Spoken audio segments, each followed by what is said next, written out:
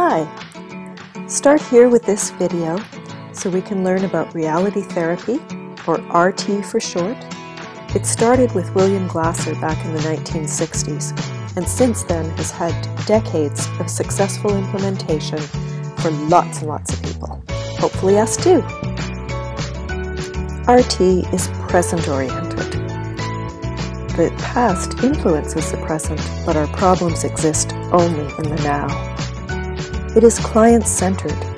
You are the expert on you. And it is choice-focused. We are not victims of circumstance. All behavior is purposeful. We are always trying to meet our inborn five basic needs, which are survival, power, love and belonging, fun, and freedom. We all have to meet our survival needs. Typically, that means we need to make some money in this society, but not always. Sometimes people become dependent if they find it too hard to meet their own needs. Sometimes people are able to be self sufficient. Power! We all need to meet our needs for a sense of personal power, self worth. We need to feel good at something. And if we struggle with that, sometimes we take the cheap way, uh, take shots at others, put them down. Love and belonging. We must meet our love and belonging needs. They are essential. Without them, we suffer, we get sick. People even have lost their lives. Fun. Fun is anything that engages you. A good book, hobby, work you like to do, or things that make you laugh out loud. When things are stressful, we can be tempted to overlook this need, but without something to engage us, our mental health is at risk. Freedom.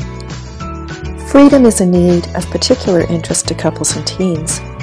Everyone has to feel like they have some autonomy, an opportunity to express themselves, make their own choices. We choose how to meet our basic needs based on our skills, knowledge, and past history. It's a matter of free will and very important to us.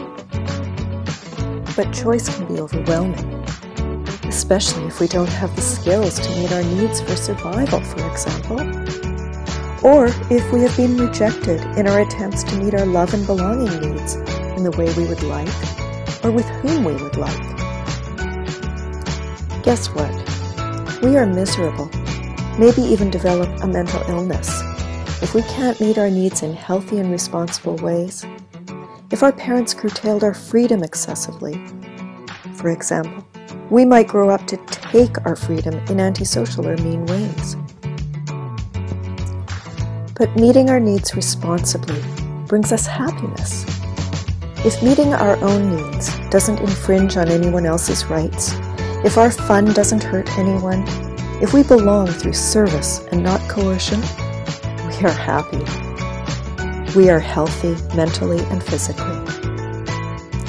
The good news is, using the techniques and exercises in the following reality therapy videos will help us find happiness meet our needs, and succeed in whatever picture we hold of success in our quality world. Thank you so much for watching. It's been a pleasure. I hope we've learned something about reality therapy and our basic needs.